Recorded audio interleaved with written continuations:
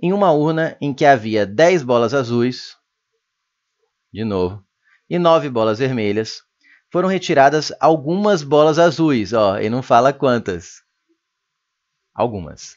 Dessa forma, a probabilidade de se retirar aleatoriamente uma bola azul dessa urna é 2 quintos. Quando ele tira algumas bolas azuis, a probabilidade de tirar uma bola azul fica 2 quintos. O número de bolas azuis retiradas da urna foi. Então, vou chamar o número de bolas azuis retiradas da urna de Azinho, de bolas azuis. Vai ser Azinho a quantidade de bolas azuis retiradas da urna. Vamos chamar de, melhor, RA, retiradas azuis. Pronto. Vai ficar bem claro o que eu vou fazer. Aqui é o contrário, ele não deu os dados para achar a probabilidade, ele deu a probabilidade para achar os dados, é quase engenharia reversa.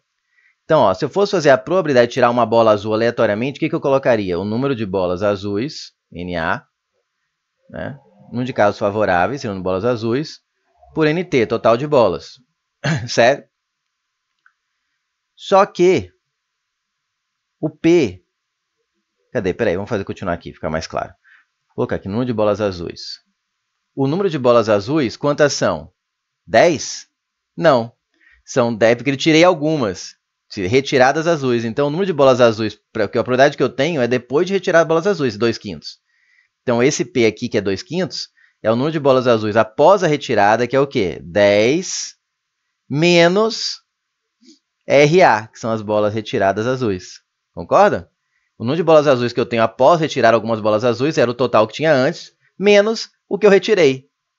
E o total de bolas que eu tenho? Cuidado, que é muito é. Quantas bolas eram no início? 19, concordam? Total de bolas eram 19. 10 azuis, 9 vermelhas. Qual o total de bolas depois que eu tirei azuis? Aqui o pessoal esquece e já coloca 19, mas não é. Eu não tenho mais 19 bolas, porque eu tirei algumas azuis. Então é 19 menos as azuis que eu tirei. Ah, então essa é a probabilidade que fica de NA por NT depois que eu tiro bolas, algumas bolas azuis? Sim. Que é 2 quintos? Sim. Então eu posso falar que 2 quintos, substituindo,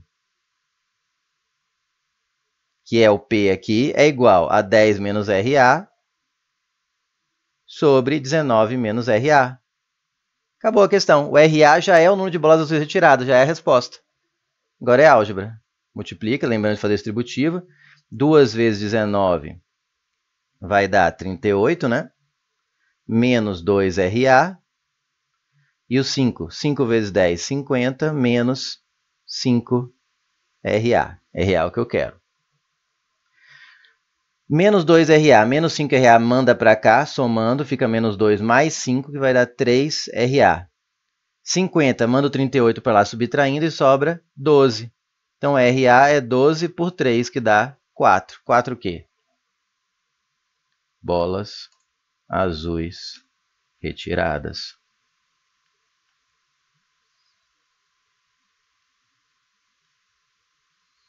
Gabarito é